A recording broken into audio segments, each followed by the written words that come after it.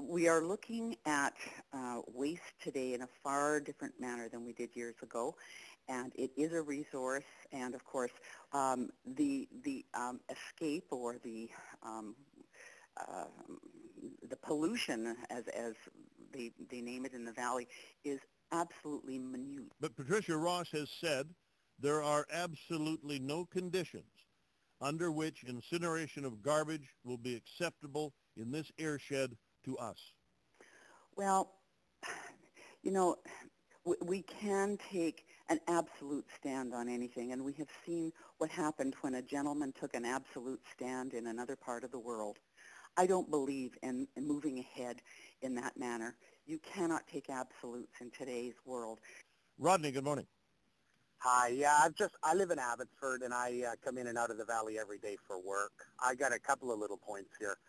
First off, I, I don't know. You're not going to convince me, no matter what, that burning garbage is a good thing. Weren't we always? Didn't everyone grow up getting told not to throw your plastics in the campfire because it was so dangerous? You don't want to breathe that stuff in.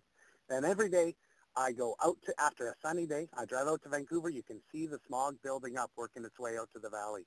After a week, Driving home into the valley, you can barely see Mount Baker after a week of sunshine. It's already disgusting. And no matter what you try and say, you're not going to convince me this is a good thing. And I, another point, did you not just, uh, Ms. Jackson, just sneak in a reference to Patricia Ross's attitude about the incinerator? Did you compare it to the Norwegian guy?